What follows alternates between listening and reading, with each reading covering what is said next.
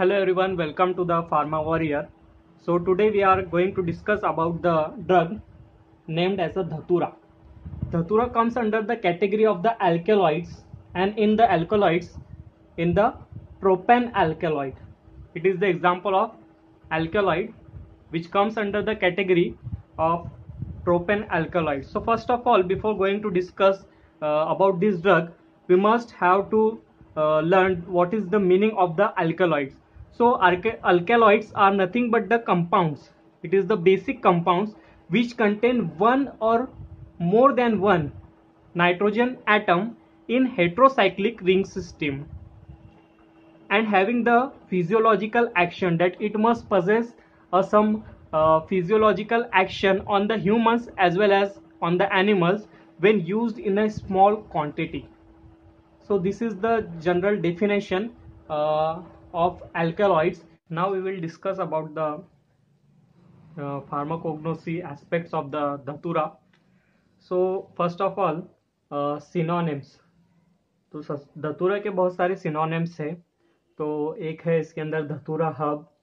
उसके बाद में है devil's trumpet devil's trumpet Indian thorn apple jimson weed etcetera then uh, biological source biological source dhatura consists of the dried leaves and flowering tops of dhatura metal belonging to the family solanaceae तो धतूरा जो है वो Solanaceae family के अंदर आता है उसके बाद में geographical source geography geographical source के अंदर है तुम्हारा it is found in India Nepal England and other region other region means tropical और the subtropical areas now we will move toward the microscopical characteristic or the morpho morphological features of the dhatura plant so uh, dhatura leaf okay so the color color is the pale green order disagreeable or characteristic order then taste it is a bitter or unpleasant taste उसके बाद में texture texture थीनी और minutely hairy अगर आप इसको observe करेंगे leaf के ऊपर टेक्सचर जो है वो हेयरी आपको ऑब्ज़र्व होगा। उसके बाद में है शेप ओवेट ओवेट शेप है। उसके बाद में इसकी जो साइज़ है, वो जैसा कि आप इस पिक्चर में देख सकते हैं size eight to thirteen centimetre is wide और nine to eighteen centimetre in length ये पिक्चर मैंने आपको रेफरेंस के लिए प्रोवाइड किया है। आप इसके ऊपर मॉर्फोलॉजी ऑब्ज़र्व कर सकते हो। मॉर्फोलॉजी के अंदर और जो इसका एक्स्ट्रा फीचर्स है एक्स्ट्रा फीचर्स के अंदर जो पीटीओल पीटीओल जो आपको नीचे के साइड में दिख रहा है, वो petiole is short datura datura leaf having a short petiole as well as the apex apex जो ऊपर का पार्ट होता है लीफ का, आप इस पिक्चर में देख सकते हो। तो वो होता है, वो apex apex is acute apex उसके बाद में है lateral veins runs into the marginal tips diagram में ऑब्ज़र्व कर सकते हो उसके अंदर आपको हाइट uh, देखने को मिल जाएँगे near about nine to eighteen centimetre height and eight to thirteen centimetre is the width then base is asymmetrical उसका जो बेस होता है वो असिमेट्रिकल होता है मीन्स जो दोनों साइड का जो प्रोपोर्शन होता है लीफ का सेंटर uh, से वो एक साइड का जो है uh, कुछ ऊपर नीचे होता है इसके लिए असिमेट्रिकल है। ओके सो आप इस डायग्राम में क्लियरली ऑब्जर्व कर सकते हो now the chemical constituent of the dhatura so the main alkaloid is the hyoscyamine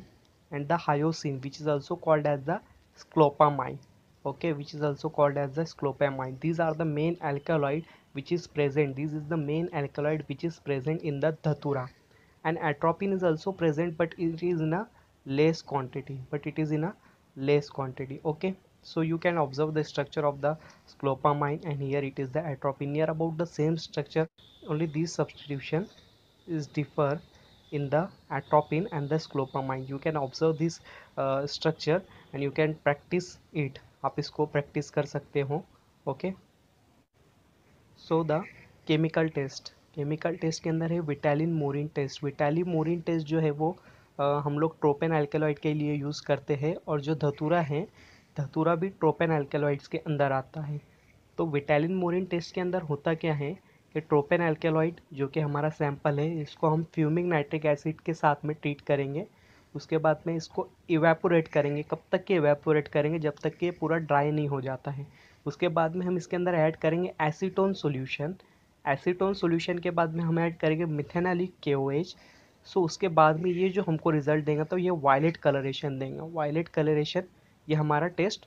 positive आएगा, ठीक है? It is use as a parasympatholytics आपने मेडिसिनल केमिस्ट्री या कोलॉजी में पढ़ा होगा parasympathomimetics and parasympatholytic means cholinergics and anti cholinergics तो parasympatholytics क्या होता है? तुम्हारा एंटी कोलिनर्जिक्स तो it is the parasympatholytics with the anti cholinergic property then it is C N S depressant C N S depressant यानी central nervous system depressant उसके बाद में है hyoscine H B R use in the motion sickness gastric और the duodenal ulcer it is also use at the it is also use as the antispasmodic means it is use to relieve the spasm of the bronchials in asthma asthmatic की condition के अंदर भी use होता है. It relieve the spasm of the bronchials in asthma Thank you for watching.